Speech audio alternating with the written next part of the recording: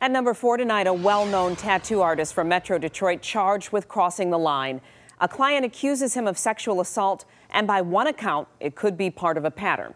7 Action News reporter Simon Shaykhet is in Plymouth tonight with the disturbing allegations.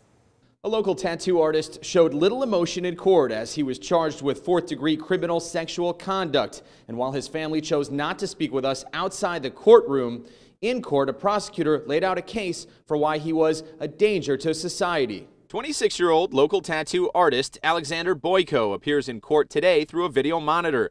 Prosecutors arguing he could easily try to leave the state and should therefore have a high bond. He is a high profile, uh, prolific tattoo artist.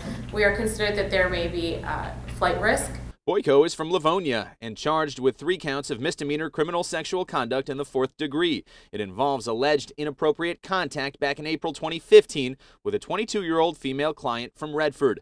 Boyko has worked at various local shops, and the website Jezebel.com recently published an article claiming more than 200 women have accused him of improper behavior, like asking for nude photos and unwanted touching. A world-renowned, very uh, tat uh, talented tattoo artist um, these allegations are from 2015. We're confident we have a defense to, to all these, these, all these false allegations. In court, his attorney entering a plea of not guilty.